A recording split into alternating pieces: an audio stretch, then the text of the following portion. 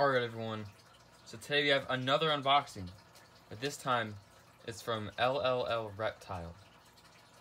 And what we're going to be doing in this video is unboxing this, this awesome reptile, and then we're going to be doing a review on the experience from customer service to the actual animal itself. So let's get started with the unboxing. Super excited about this. My unboxing knife. What do you think? Alright, so I just have to say, it's supposed to be female, and I'm super excited because I don't know what it looks like. But I'm also su super nervous because I don't know what it looks like. So, let's uh, get this girl open. I'm so excited.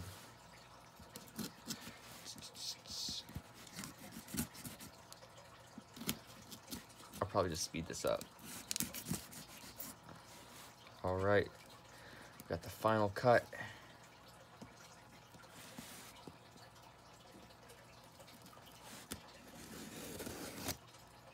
doke.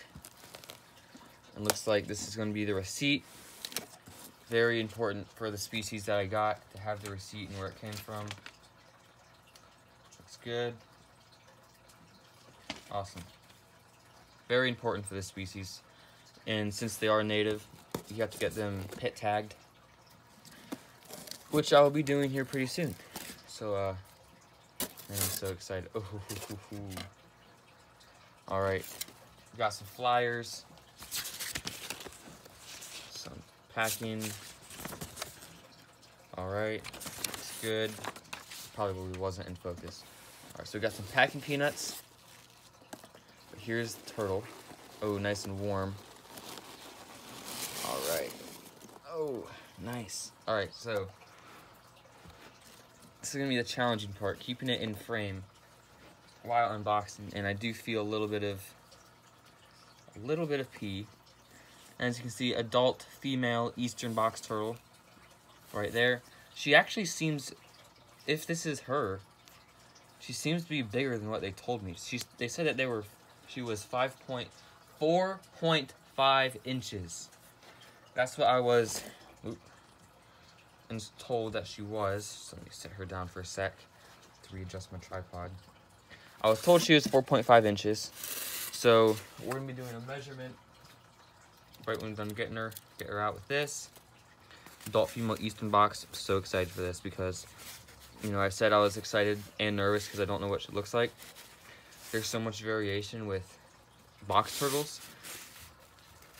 Like, I'm super excited to know what she looks like, if she's gonna be like, I don't, I don't know, we'll have to see. I might have to run upstairs and get a pair of scissors. Oh, nope, I got it. All right here we go. Got a little bit open. Ooh. -hoo. Oh, man, what? This is like some special kind of sock. Has to be. Try not to look too much. All right. It's probably enough to get her out. And three, two, one. Get her out. All right, she got a big chip. That's all right.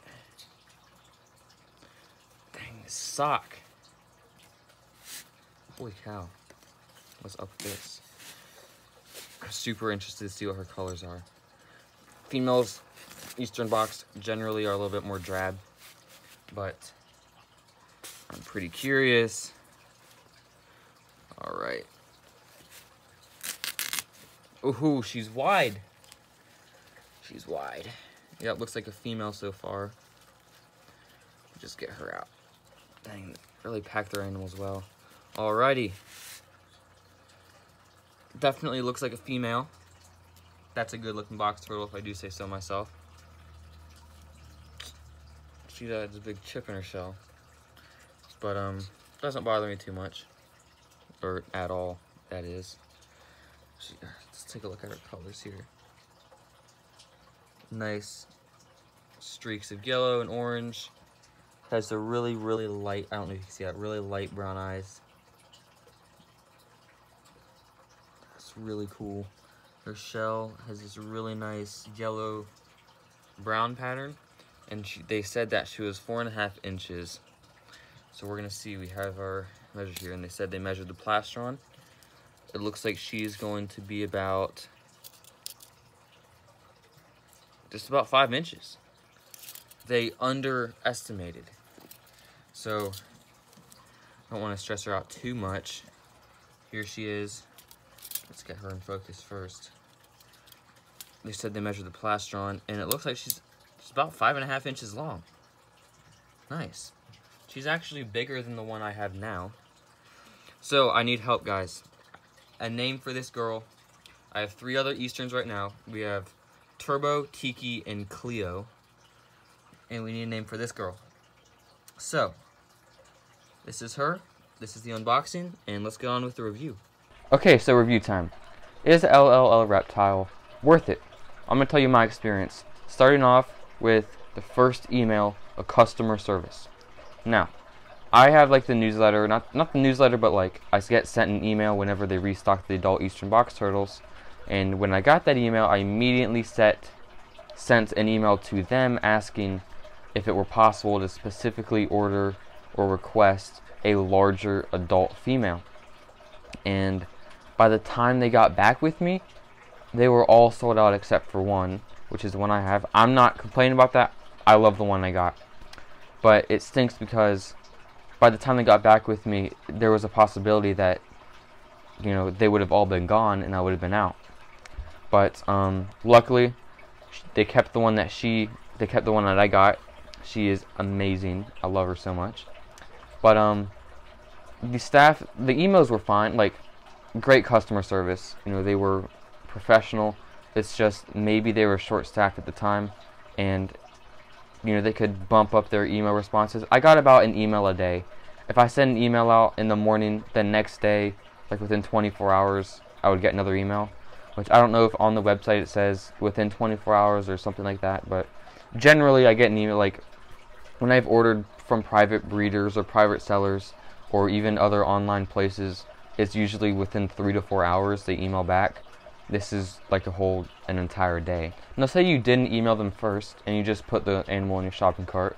The ordering process was pretty smooth. You know, you and one thing I really liked about it is you gotta select the day that you want the animal to arrive. Which in the past that I've ordered from companies, it's just like you order on Monday, it ships out on Tuesday, and you get it on Wednesday.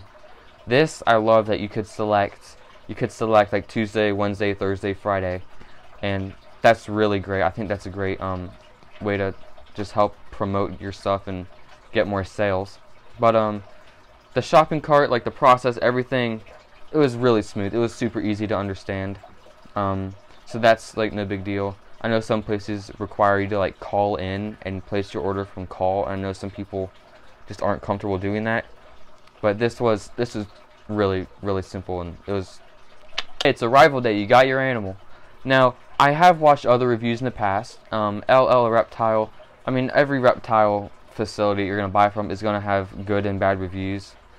Personally, from what I found, it looks like they had more negative reviews than positive reviews. But after further inspection, it was mostly like spiders and scorpions and more fragile animals rather than like bulky, hardy like tortoises and box turtles. But um, my turtle came came obviously it was alive.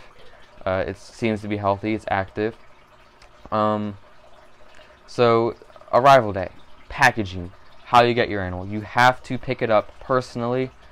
Whether they require you to do that or not, like anywhere, LL Reptiles requires you to pick it up, you know, one on one with the mailman. But it's just in my opinion, if you can't pick it up one on one, don't don't get it because there's so much risk. But uh, that's beside the point. Um, packaging was really really good, as you can see here.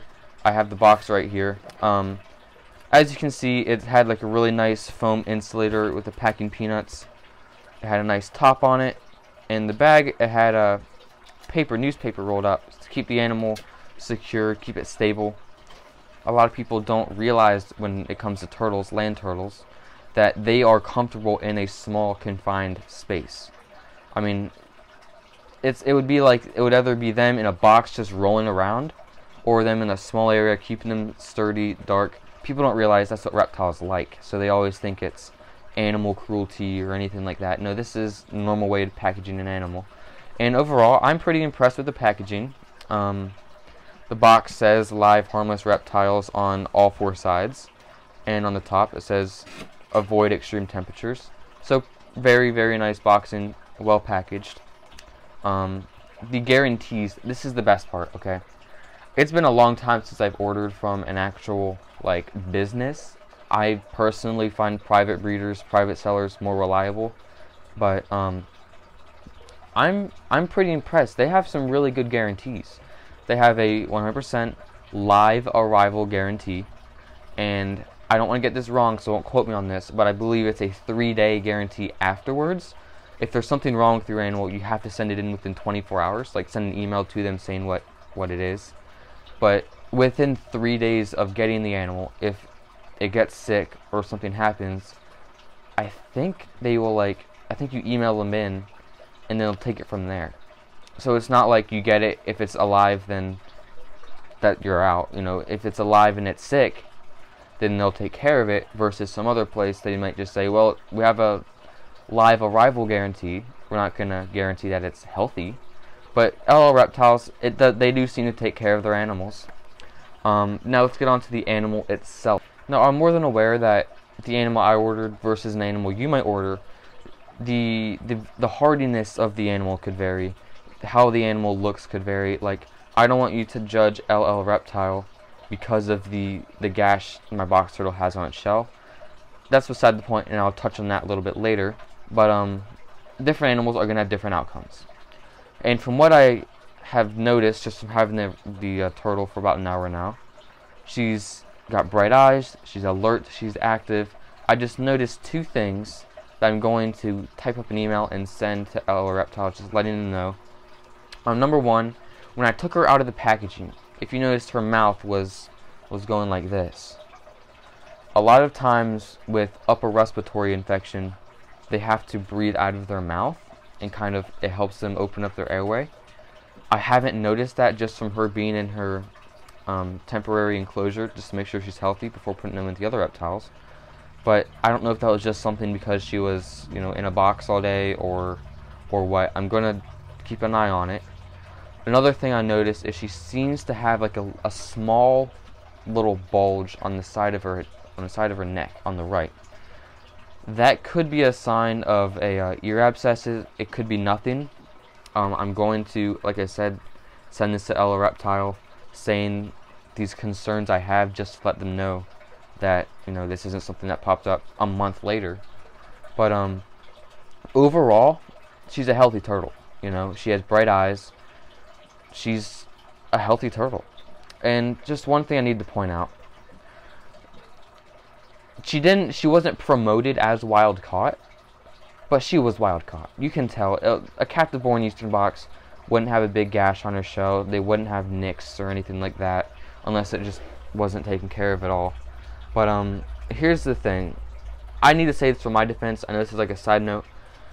There are species that you cannot buy captive born adults because they just aren't available.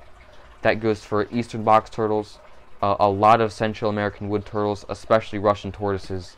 You just you just can't find captive born adults, which unfortunately that's how eastern box turtles are. Um, so here's my philosophy. I'm going to touch on this in a different video. This is a summary. If you want a pet turtle, okay, if you just want a pet, please please go the extra mile to get a captive born animal. But if you're like me and you want to breed them and you want to increase their captive numbers, you have basically no choice but to buy wild caught adults. And it pains me to say that, and I don't like buying wild caught adults, I don't like supporting that, but you have no choice, especially with Russian tortoises, eastern box turtles, and Central American woods. There's really no choice. And the oldest captive born eastern box I found was a, a yearling for $400. $400 versus getting an adult male and an adult female for $360, which was um, how I got Tiki and Cleo. It was a little bit over my price price range, but it's worth it. Tiki's they're they're just awesome. And lastly, I just want to say this is kind of like a um, this little bonus thing. They have like a decent like a receipt. Okay, the receipt is so important. In my opinion, if you're gonna buy an animal offline from an actual like like a retail or like an actual business, if they don't give you a receipt, don't buy the animal. Okay, because of this receipt here, if someone were to question me about the legality of this box turtle, I can say, here's the receipt. Um, I have the receipt for the other two that the the one guy sent me, but um, the receipt is very important. If for some reason someone were to question you on your reptiles, that receipt just pr receipt proves that it's legal, it's yours, you bought it from them, you didn't catch it out of the wild. End of story. I do need to pit tag her since she is native to where I live, but um, well that made it worse. But that's that's no big deal. I have to pit tag my other boxes as well, along with my red which is coming soon. So, LLL reptile, yes or no? What's my opinion? From what I received today, and the communications I had with them earlier, I would say 100% yes. I can't speak for like the lizards and the snakes and that. This is just from the, the turtle I got. But I would say absolutely. They have great customer service. They have a YouTube channel that you kind of get a look in to see what their their store is. They have stores in California. Um, but yeah, absolutely. I had a great experience. I'll keep you updated on uh, her health as well. But um, so far so good. I think if you want to get an animal, LLL Reptile is a great place to go. Now, I do need to say this with caution because I've only ordered one animal, and with past experiences, one animal versus like 20, if you were to order another, one, like, let's say, there's an old website. I think they changed the name. It's called Turtle Shack. Uh, don't ever buy from Turtle Shack. I don't know if, if it's even around anymore. But I got a turtle from Turtle Shack. It died within a year. Um, no, no, no, no. I got a turtle from Turtle Shack. It lived. It was so it was perfectly healthy. It was a false map turtle. I named it Taz. And then I got two yellow bellies, which one of them came healthy. One of them came with a respiratory infection. That one respiratory infection contaminated the other two turtles, and they all ended up dying. And they did nothing about it. They did squat. They said, "We'll give you a ten dollar store credit," which when my what do they have for sale? That's ten dollars. But um, LLL Reptiles.